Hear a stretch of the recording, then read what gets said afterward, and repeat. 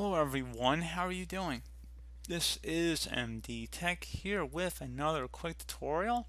In today's tutorial, I'm going to show you guys how to go about resolving if you're having an issue with the exception processing message 0xC000006 unexpected parameters. Please excuse me if I accidentally added or subtracted a zero by mistake when reading that error message.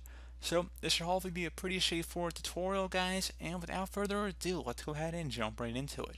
So we're going to start off by opening up the start menu.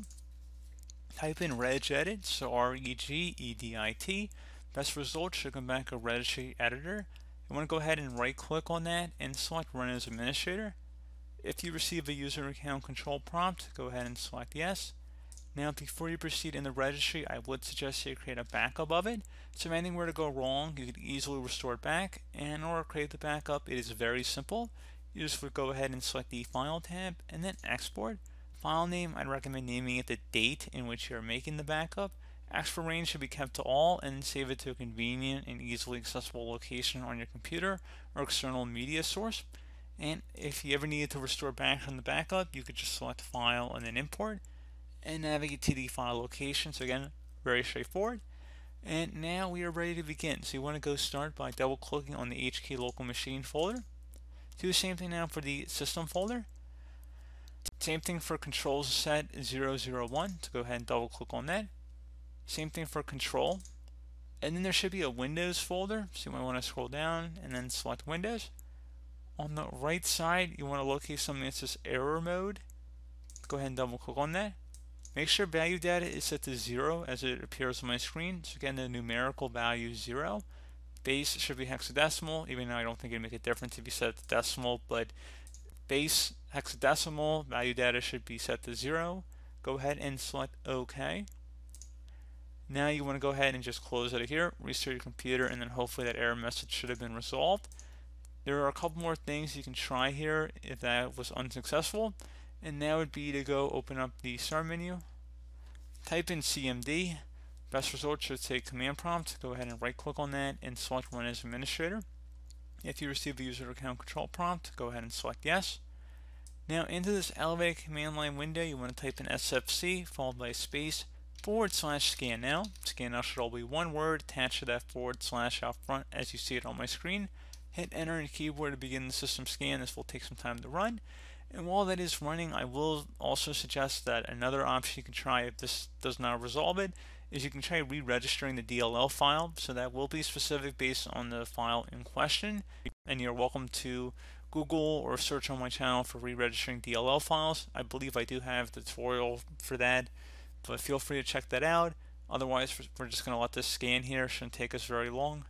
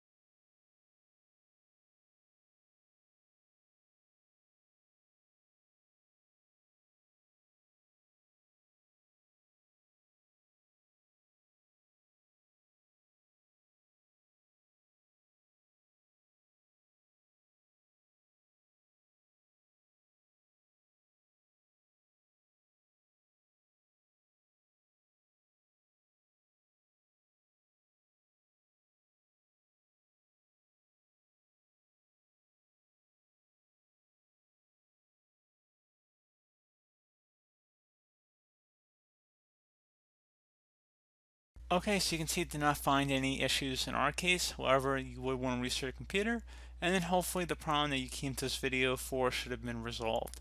So, as always, thank you guys for watching this brief tutorial. do hope that I was able to help you out, and I do look forward to catching you all in the next tutorial. Goodbye.